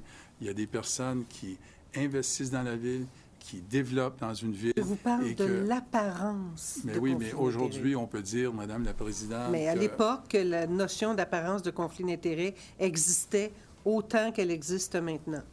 Mais euh, ce qui veut dire, dans- si- je C'est je une dois vieille conclure- notion, vous savez. Oui, je le sais, mais ce que je dois conclure dans votre affirmation, Madame la Présidente, c'est que si à la Ville de Montréal, il y a des dossiers d'importance, je parle de projets de développement, je ne sais pas, de 200 millions, euh, le CHUM, peu importe. Euh, et est-ce que vous êtes en train de nous dire que parce que euh, moi-même ou le maire ou un autre élu responsable du dossier s'assoit avec les intervenants de ce dossier pour faire avancer un dossier, qu'il y a une apparence de conflit d'intérêts. Si c'est ça que vous êtes en train de dire, ben oui, l'apparence était là et puis était là depuis, euh, depuis le début. Mais on faisait ça de bonne foi. Je ne pense pas, je ne pense pas que euh, ces rencontres-là avaient des arrière-pensées. On voulait juste faire avancer les dossiers. Moi, mon rôle, euh, comme Même lorsque ces rencontres ont lieu avant l'attribution des contrats? Bien, souvent, euh, souvent, avant l'attribution des contrats, euh, il y a des personnes qui peuvent interpeller des élus pour savoir c'est quoi ce dossier qui s'en vient, est-ce que l'administration a des intentions claires, Euh, c'est quoi la façon de se positionner, on les dirige vers les fonctions publiques euh, nécessaires. Alors, c'est souvent arrivé, je vous donne un exemple, quand la Ville, quand la ville a lancé le, euh, dans, dans le programme électoral le plan de transport, le plan de transport, bien, il y avait un engouement de firmes, de firmes qui voulaient connaître les intentions de l'administration, qu'est-ce que ça va inclure. Et ça, on parle euh, dans une période embryonnaire, même avant qu'on commence à, à dévoiler le contenu. Est-ce que vous allez avoir des tramways? Est-ce que vous allez avoir... Mais là, on ne parle pas de conférences à tout le monde. Oui, On parle de lunch avec une ou deux personnes. oui. C'est de ça dont on parle. Oui, je comprends, mais toujours dans mon exemple d'une conférence de plan de transport. On fait la c'est comme ça que ça commence. On fait la conférence sur le plan de transport. Ensuite, il peut y avoir des individus, des individus qui sont intéressés, qui sont intéressés d'avoir un peu plus d'informations, un peu plus de concret. Ils peuvent, ils peuvent aller voir le responsable du transport au comité exécutif dans, dans, une rencontre, oui, un à un, ou même avec, avec moi, dans une rencontre un à un pour savoir si tu sérieux. Souvent, c'est juste pour savoir est-ce que c'est un, est-ce que c'est un ballon en l'air? Est-ce que vous allez y donner suite? Est-ce que c'est quelque chose de sérieux? Ça va, ça va finir comment? Alors, ce sont des informations, c'est du développement des affaires que ces gens-là font. Mais ça ne veut pas dire que lors de ces rencontres, on leur donne des informations privilégiées. Non, mais on est toujours dans l'apparence de conflit d'intérêts. Maître Lebel, vous pouvez poser une autre question, s'il vous plaît. Bien, peut-être reprendre sur ce que M. Zampino vient de dire. M. Zampino, si ces gens-là euh, ressentent le besoin euh, de rencontrer le président du comité exécutif lors de situations de potentiels contrats où vous, avez parlé du, plan de transport, je vous demanderai, s'il vous plaît, de ne pas rentrer en nouveau dans les détails, on les a bien entendus. Mais s'ils se sentent euh, le besoin de vous rencontrer souvent ou parfois un à un, c'est parce que c'est une information qu'ils jugent utile d'avoir, n'est-ce pas? Peu importe l'information, qu'elle soit privilégiée dans sa nature essentielle ou que ce soit une information d'orientation de la ville telle que vous l'avez décrite, ces gens-là sentent le besoin d'avoir ce type d'information. Euh, il y a une certaine validation qu'ils veulent aller chercher. Normalement, euh, si je parle de ces exemples-là, euh, ces bureaux ont des équipes internes qui, eux, sont les premiers à aller chercher l'information auprès de la fonction publique. C'est ça la règle. Et puis là, on retourne, j'imagine, aux dirigeants de ces entreprises, aux vice-présidents, aux présidents. Euh, voici les informations qu'on a obtenues. Euh, est-ce qu'on commence à se positionner avec ce dossier-là? Est-ce que c'est tout simplement euh, trial balloon? Et puis, là, il y a des, les dirigeants, les plus hauts dirigeants, on leur demande d'aller faire des validations. Alors, la validation, c'est quoi? C'est, de dire, oui, on a, on a une conférence de presse, oui, on a une intention claire d'aller de l'avant, mais c'est pas pour donner de l'information privilégiée. C'est, c'est ça que je vous dis. C'est carrément dans le contexte du développement des affaires pur et simple. Vous êtes d'accord avec moi que de préparer, on l'a décrit ici dans la commission, mais je pense que vous, avez vous en avez une notion suffisamment précise pour pouvoir répondre à ma question. Préparer euh, un appel d'offres, une soumission en vertu d'un cahier de charges, se préparer à répondre à une demande pour un contrat pour une telle firme, ça signifie engager des frais, c'est exact? Oui. Tout à fait. Donc, même si on écarte là, toute notion de d'informations privilégiées. Vous l'avez décrit vous-même, M. Zampino. Il y a un processus à la Ville de Montréal. Il y a des fonctionnaires, des gens dans chaque direction à même de répondre à ce type de questionnement-là sur l'orientation d'un dossier. Et ces informations-là, en règle générale, sont contrôlées, pesées pour s'assurer que tout le monde ait le même type d'information pour ne pas avoir un, un avantage indu. Et vous nous dites aujourd'hui que d'avoir un lunch en tête à tête ou à petit comité avec le président du comité exécutif, là, c'est pas n'importe qui dans la ville de Montréal, avec le, et qui se sentent le besoin d'avoir ça, peu importe que ce soit une information privilégiée ou non, ne leur donne pas un avantage sur la concurrence. Euh, je vous dis non. Parce que, de prime abord, je ne donne aucune information euh, privilégiée. Et ce que je dis à chaque fois, c'est que vous devez vous diriger à telle personne, telle personne et, telle personne. Donc, tout ce que vous faites pendant ces lunchs-là, pour lequel, euh, habituellement, est-ce que c'est eux qui payent pour le, peu d'occasions où vous êtes allé, selon votre témoignage? Quand M. Catcan, M. Catcan, M. Catania de Catcan vous invite, par exemple, au lunch que vous avez décrit, est-ce que c'est lui qui a payé? Euh, généralement, oui. Donc, il paie le lunch pour se faire dire je vais rediriger ton appel euh, ailleurs ou je vais faire le trafic de ta demande, c'est ça? Oui, mais... Et c'est tout ce qu'il obtient de votre part. Mais que quelqu'un... Je vous redirige à un autre département. Oui, mais que quelqu'un... C'est son développement des affaires. Euh, c'est leur développement des affaires, mais que quelqu'un me paie un lunch, ça, ne m'a pas plus influencé et je ne donne pas d'informations privilégiées. Et n'importe quelle autre personne euh, fait ses démarches avec les autres élus. C'est sûr qu'on parle de moi comme président euh, du comité exécutif, mais quand on parle de ces dossiers... Qu'est-ce qu'on dit de vous? Pardon? Qu'est-ce qu'on dit de vous? Non, ce que je veux dire, c'est que vous me parlez dans ces exemples des rencontres qu'ils peuvent avoir avec moi. Oui, vous dites, on parle de moi. Oui. Euh, Qu'est-ce qu'on parle de vous? Ce qu'on dit sur moi, c'est que je rencontre ces personnes-là dans les exemples que je vous ai donnés. Alors, c'est dans ce sens-là que je dis qu'on, dans cet exemple, on parle de moi. Ce que je voulais rajouter, c'est que le même exercice se fait avec tous les élus qui ont les responsabilités dans chacune de ces matières. Alors, si on comprend bien, ces rencontres-là, que ces hommes d'affaires qui font du développement des affaires avec chacun des élus dont vous nous parlez, euh, se font euh, tout simplement acheminer vers la bonne personne. Absolument. Alors, expliquez-moi pourquoi vous vous donnez la peine d'aller luncher à ce moment-là et que vous ne... Parce que vous êtes un homme occupé, on l'a su la semaine passée, je, suis convaincu que c'est exact, là, M. Zampino.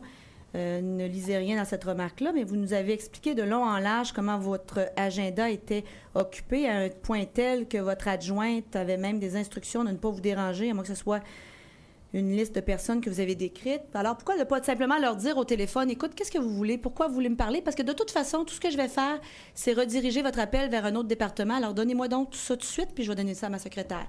Pourquoi prendre la peine d'aller euh, vous, d'aller vous asseoir là quand même?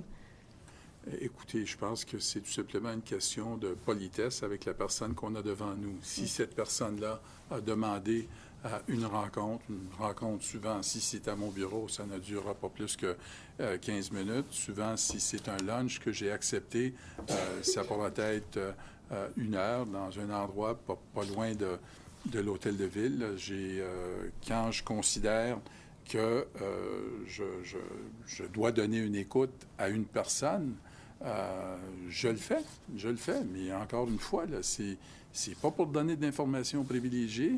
Et puis, c'est dans le cadre, c'est dans le cadre de mes fonctions. On peut bien dire qu'il y a des apparences de, de conflit d'intérêts, mais euh, euh, j'imagine qu'avec vos recommandations, un jour, on va bien encadrer ça. Et puis, si ce qu'on va faire, c'est de, de, de, mettre l'ensemble de ces dirigeants dans, des, dans des tours d'ivoire et, euh, et, non pas, euh, non pas interagir, interagir avec des gens qui, qui doivent contribuer à la réussite d'une ville, à, la création de la richesse d'une ville. Bien, ça sera le, choix des futures administrations. Je crois comprendre que vous trouveriez ça blâmable. Vous souhaiteriez que les dirigeants de la ville continuent de côtoyer les ingénieurs, les entrepreneurs ou les gens qui reçoivent des contrats? J'ai pas dit ça, euh, Madame la Présidente. Euh, loin de moi de prétendre que je veux que les ingénieurs de la Ville continuent de, côtoyer. Euh, ce que je vous dis, c'est que comme administrateur et surtout la partie des élus, nous sommes à l'écoute, évidemment, de, de, personnes qui contribuent à la richesse d'une ville.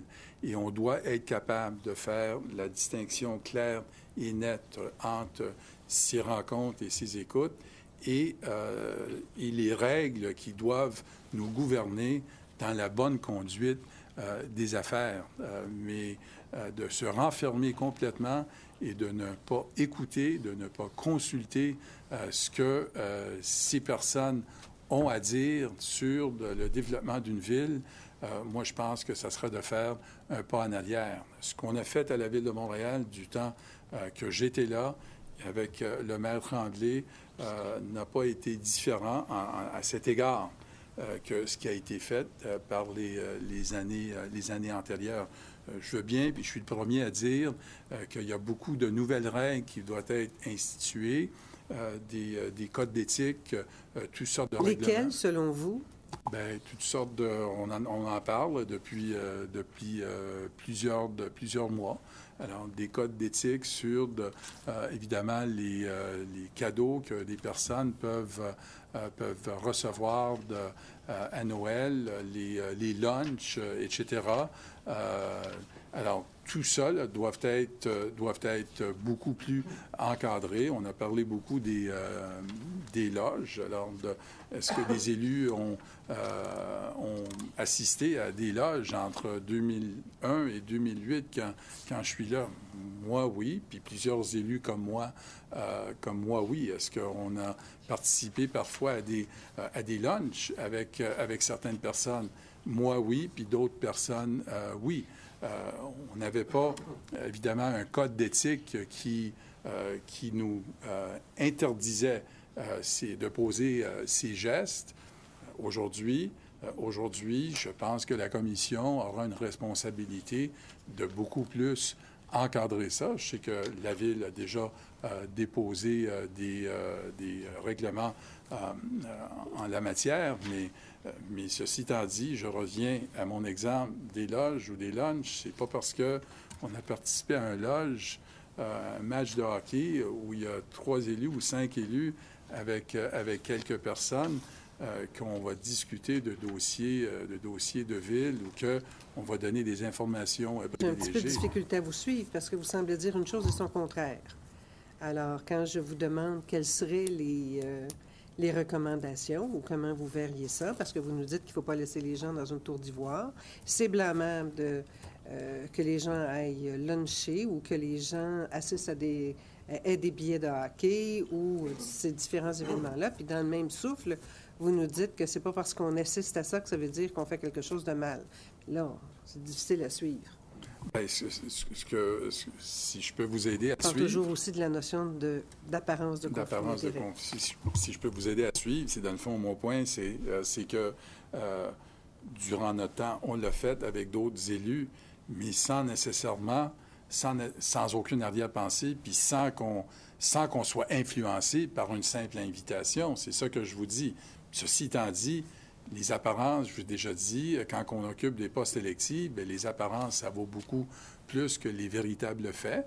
Alors oui, je suis d'accord à ce qu'on les encadre. Mais ce que je dis en même temps, ce que je dis en même temps, c'est que cet encadrement, cet encadrement doit également, doit également euh, trouver une façon de permettre à des personnes qui sont élues, à des gestionnaires qui sont élus par une population, à trouver une façon bien encadrée de, de, de- sentir le pouls, euh, finalement, de ceux qui contribuent à la ville. Parce qu'on peut bien dire, euh, on va mettre les élus dans un tour d'ivoire, et puis ça va être les fonctionnaires. Ça va être les fonctionnaires qui vont s'occuper de ça. Mais mais c'est pas nécessairement parce que c'est des fonctionnaires qui vont s'occuper de ça que euh, il pourra pas avoir une certaine transgression. Alors, je pense que c'est euh, euh, il faut euh, il faut que ça soit euh, il faut que ça soit bien encadré et euh, Il faut surtout qu'il y ait des gens honnêtes aussi. tout à fait. Vous ne voyez pas de différence, M. Zampino, entre ces deux extrêmes, c'est-à-dire la tour d'ivoire et un lunch en tête-à-tête avec un entrepreneur ou un ingénieur qui paye votre facture? Euh, J'ai pas compris le sens de la question.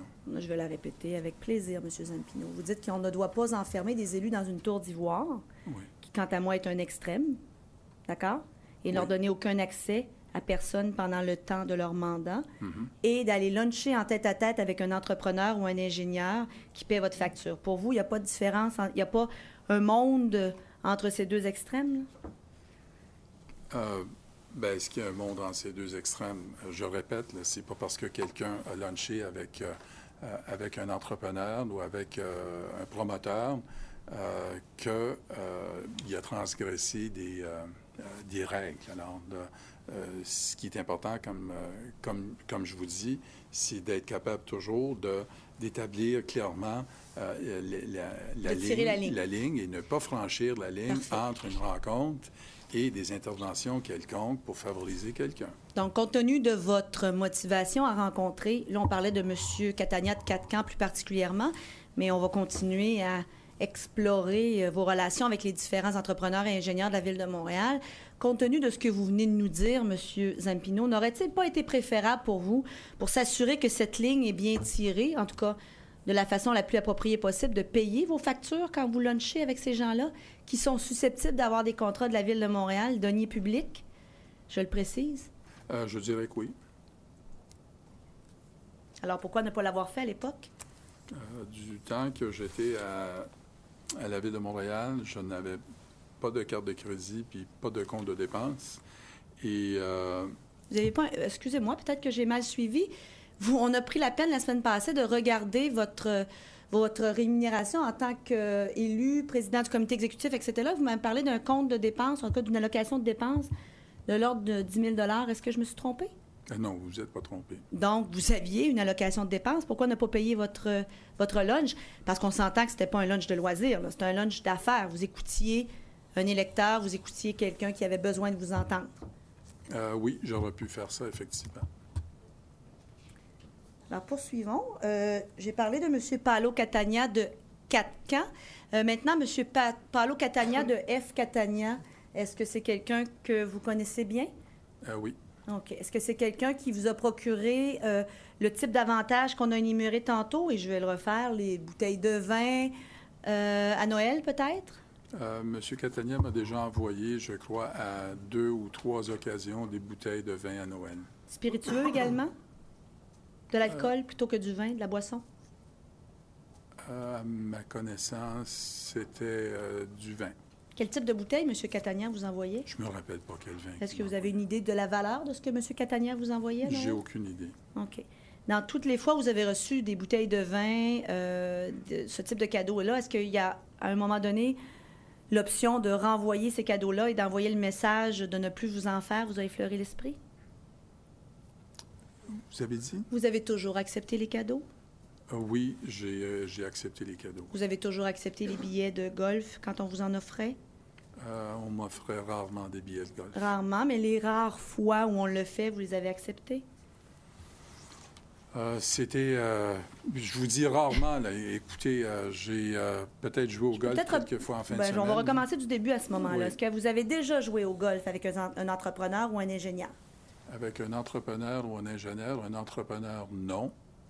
Euh, un ingénieur, j'ai peut-être joué au golf euh, trois, quatre fois au maximum, euh, peut-être avec euh, Rosaire Soriol.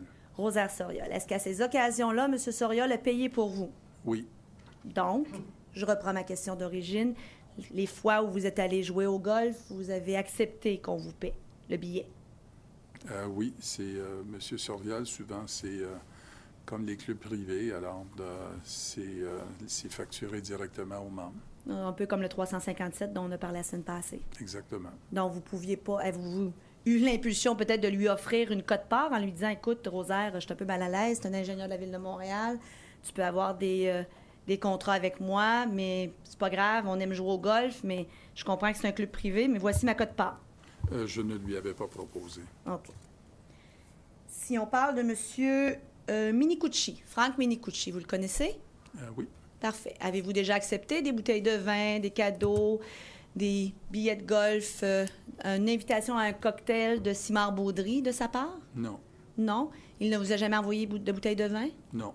OK. Je reviens à M. Catania de F. Catania. Est-ce que vous êtes déjà allé manger avec lui, dîner, souper, Euh, oui. Oui, j'ai déjà eu des soupers avec lui. en privé? Dîner. Oui, en privé. avec, et en compagnie de d'autres personnes également? Ah, il faudra qu'on regarde l'agenda. Oui, ça se peut que c'était en compagnie de d'autres personnes. On oui. pourra faire cet exercice-là tantôt avec vous, justement, pour vous permettre de voir si euh, ce qu'on a, les informations qu'on a sont exactes et peuvent vous rafraîchir la mémoire. Mais vous avez souvenir d'être allé avec M. Catania à des lunchs où vous étiez seul avec lui? Euh, oui. Au 357C, c'est possible? Il est membre, je pense? Et les... Il est membre, à votre connaissance? Oui, j'ai fait certaines rencontres en privé avec lui et des rencontres de suivi dans le dossier euh, euh, que vous connaissez, le dossier du Faubourg Contrecoeur. Parfait. Avez-vous fait, euh, donc, les années ou la période pendant laquelle vous, aviez eu, vous avez eu de tels types de lunch? On va parler de ceux en tête-à-tête avec M. Catania. On se situe à peu près à quelle époque? On pourrait regarder l'agenda, mais à votre connaissance.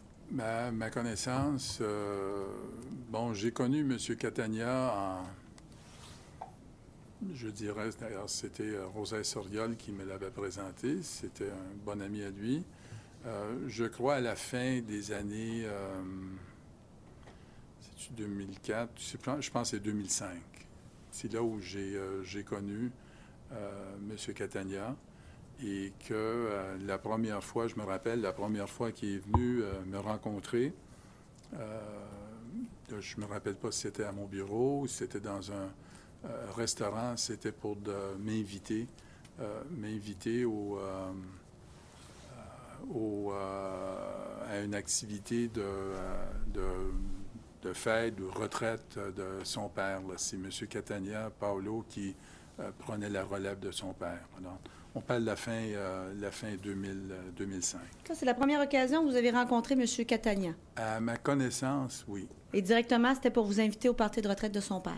Quand je l'ai vu, c'est ça, je pense que l'activité, euh, l'activité euh, qui était à un hôtel était, je pense, au mois de novembre ou au mois de décembre. Il m'avait vu peu de temps avant pour de venir m'apporter une, une invitation et une invitation pour un autre couple également. OK. Aviez-vous une relation particulière avec son père? C'était Frank, hein? Je pense, Catania, c'est ça son nom? Euh, J'avais pas de relation euh, particulière, mais euh, à part d'être euh, quelqu'un qui, euh, euh, a longtemps et avait son, euh, son commerce euh, du temps qu'il était avec euh, son frère, euh, Tony Catania, je pense qu'ils étaient associés. Euh, ils avaient longtemps leur commerce à Saint-Léonard. Je crois qu'il a déjà demeuré Saint-Léonard. Alors, M. Catania euh, m'a dit euh, on aimerait bien que M. Zampino, vous soyez, vous soyez là comme, comme maire de, Saint-Léonard, puis je pense qu'il m'avait demandé si je pouvais demander au député, au député Michel Bissonnette s'il voulait être présent également. Est-ce qu'à votre connaissance, le groupe Catania a beaucoup de contrats dans Saint-Léonard? Dans Saint-Léonard, non, je n'ai pas cette information, mais euh, d'abord, je ne connais pas la liste, la liste des, euh, des entrepreneurs là, qui ont euh, gagné des contrats à Saint-Léonard. Je ne sais pas si vous parlez de d'années en particulier, mais à ma connaissance, non, pas plus que, pas plus que d'autres. Et vous n'avez pas de relation d'amitié particulière avec euh, Frank Catania père? Ah, pas du tout. Pas du tout. Et la première, le premier contact que vous avez avec M. Catania, grosso modo, c'est pour vous inviter à, euh, au- au- à la soirée de retraite de son père, c'est Oui, ça? c'est euh, c'est le souvenir que j'ai. Il est venu me voir. Je pense que c'était à mon bureau. Je peux me tromper. Et puis, euh, c'était pour m'inviter à... Il tenait beaucoup à ce que euh, moi, euh, le maire de Saint-Léonard et le député soient, euh, soient présents. Alors, on avait accepté de, euh, de participer. Et là, je me rappelle également qu'après l'activité, il est revenu euh, au bureau pour m'apporter un petit, un petit souvenir de, souvenir de, de l'événement, qui était, euh, qui était une photo euh, de, de- de son père ou quelque chose comme ça. là. Avec vous ou juste tout seul? Non, tout seul. Tout seul. Est-ce que vous savez s'il a étendu cette invitation-là au maire de Montréal à l'époque? Oh, à ma connaissance, non. Non, euh, quand il est venu me voir, euh, il m'a spécifiquement demandé, euh, vu qu'ils ont quand même une histoire avec leur compagnie à Saint-Léonard, il m'a dit on aimerait que le maire de Saint-Léonard, que vous, si vous êtes capable d'être là, M. Zampino, et qu'on aimerait bien avoir aussi le, député local également. Vous dites que ce lien-là est passé à travers Rosaire Soriol. De quelle façon ça s'est fait? Euh, euh, ce que j'ai Vous que avez dit, au début de votre témoignage que vous pensiez que c'était même Rosaire Soriol qui vous l'avait présenté. Alors, Oui. comment ce lien s'est fait là? Ah, je- écoutez, là, je me rappelle, je vous dis ça parce que moi, je ne connaissais pas euh, Paolo Catania euh, beaucoup, à part de nom, là, à pa- à- avant cette, euh, cette période. Et puis, euh, c'était peut-être une activité de financement euh, dans, ce coin-là, là, peut-être euh, 2000, euh, 2005, euh, où monsieur, monsieur Soriol m'a présenté peut-être lors d'une activité de financement, il dit J'aimerais vous faire connaître un de mes amis. C'est quelqu'un qui est très actif à Montréal et puis surtout à Brossard. Il fait beaucoup en immobilier à, à Brossard et il me l'a présenté. Ça. Et ça, votre souvenir est que c'est tout près, tout près ou dans les dans la même période euh, du, de la soirée de retraite pardon, de, son frère, de son père? À mon souvenir, oui. là, je- Ça se passe tous dans, dans la même période de temps, là, plus ou moins quelques semaines, j'imagine, mais dans la Selon- même époque. Selon le meilleur de mon souvenir. Alors, de- écoutez, là, Et- je ne sais pas si c'est six mois avant, mais je ne me rappelle pas. OK. Et par suite au, à ce, cette soirée de retraite-là avec euh, M. Catania, est-ce que vous avez eu à avoir d'autres lunchs en tête-à-tête avec Paolo? Toujours celui d'F. Catania, là, pour qu'on se comprenne bien. Euh, avec Paolo Catania? Oui, de S. Catania, Ben, non pas 4 Plus tard, oui, plus tard, Et, que- absolument. et quel était l'objet de ces lunchs? En Ben, tête-à-tête, j'entends. là. Les lunchs en tête à tête, euh, écoutez, là, comme les exemples que j'ai donnés tantôt, il y a de, euh, des discussions, il y a de grands dossiers là, qui s'en viennent, euh, qui s'en viennent à, à la ville. Est-ce que ce dossier va aboutir? De, euh, je sais que dans le temps, j'imagine, on va parler plus tard de, de contre-cœur. Mais je vous demande là, particulièrement, là, peut-être pas contre cœur, mais est-ce OK. qu'il y avait donc des dossiers à la base de ces rencontres-là, si on y va de façon générale? Bien, c'est, il s'informait sur, de- euh, sur ce qui s'en venait à la Ville de Montréal. C'est quoi le, le, le- le- niveau du PTI? euh, quels seront les investissements des, euh, euh, des, des- prochaines années dans les dossiers euh, d'actualité, dans les grands dossiers d'actualité, au même titre que d'autres personnes, bien, il s'informe, euh, il s'informe également sur, de, euh, sur la volonté de l'administration de, euh, d'aller de l'avant. Si je peux vous donner un exemple. Euh, euh, ben, peu Peut-être juste, je, je juste revenir à ce que vous venez de dire, euh, Monsieur Oui. euh, Zampino, si vous me permettez. Vous dites qu'il s'informe sur le niveau de PTI et des investissements dans le dossier. Est-ce que c'est pas quelque chose qui est rendu public, ça, en novembre, pour tous y avoir accès, pour que tous puissent y avoir accès? Oui. Alors, quel est des- l'avantage de vous rencontrer si c'est public, à moins de le faire avant que ça devienne public? Ben, c'est pas parce que c'est public qu'on questionne, on peut pas questionner si la ville a la volonté, euh, évidemment, d'atteindre l'ensemble des investissements. Je pense que j'avais déjà mentionné, j'avais déjà mentionné euh, à une interrogation antérieure qu'on dépose un PTI sur trois ans. euh, et puis, si la première année, c'est 500 millions, deuxième 500 millions, troisième 500 millions, il peut avoir des dossiers particuliers là-dedans. Et à la fin de l'année, la Ville ne réussit jamais à investir l'ensemble des, euh, euh, des éléments. Alors, ils, ils peuvent, il peut avoir des questions à savoir, euh, y a-t-il des dossiers, euh, y, a-t-il des dossiers qui, qui seront remis à, plus tard, etc. Alors, moi, je disais tout, tout- tout le temps à M. Catania, j'ai dit, écoute, moi, je n'ai pas cette information à ce niveau-là. Allez vous informer, allez, vous informer au, euh, euh, au niveau des, euh, du service des, des travaux publics qui sont plus en mesure de vous donner un calendrier d'avancement des, Officiel. euh, des, des- des travaux. Un là. calendrier officiel, C'est ça que je faisais, oui, c'est ça. Donc, je comprends que même dans le cas de Paolo Catania, d'Ef Catania, c'était pour le rediriger au département approprié. C'est exact? Bien, c'était généralement la façon que je fonctionnais, soit par moi ou soit par euh, les gens de mon cabinet euh, qui, euh, qui allaient chercher euh, une information euh, ou allaient chercher un nom d'une personne pour dire, ben écoute, la personne qui peut vous aider au niveau de la fonction publique, c'est une telle personne. Est-ce que M. Paolo Catania, toujours de F. Catania, pour qu'on pour qu'on se comprenne bien, payait pour ses lunchs? Euh, oui, euh, j'ai, ben, quand j'étais au 357, si vous vous référez avez- au vous avez 357, expliqué le fonctionnement, il va oui. de soi, mais j'ai déjà euh, été dans des, euh, des euh, petits endroits? déjeuners euh, Pacini qui coûtent 7 les, 7 les 95 avec deux euh, rôtis euh, pain brun et bon, souvent je prenais la facture. Alors, c'est le moindre, la moindre des choses OK. que À je pourrais faire. 7,95, vous prenez la facture dans votre compte de dépenses? Oui, mais de toute façon, moi, je n'aimais pas aller nécessairement dans des euh, hôtels. J'aurais pu aller à l'Intercontinental ou aller euh, au Sofitel, etc.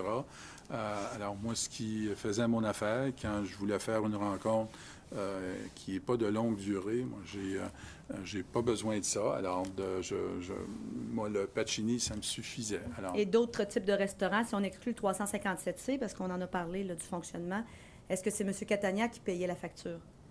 euh, souvent, j'ai tenté parfois de payer des factures, mais beaucoup de difficultés avec des personnes comme ça. OK. Je pense qu'on peut prendre la pause.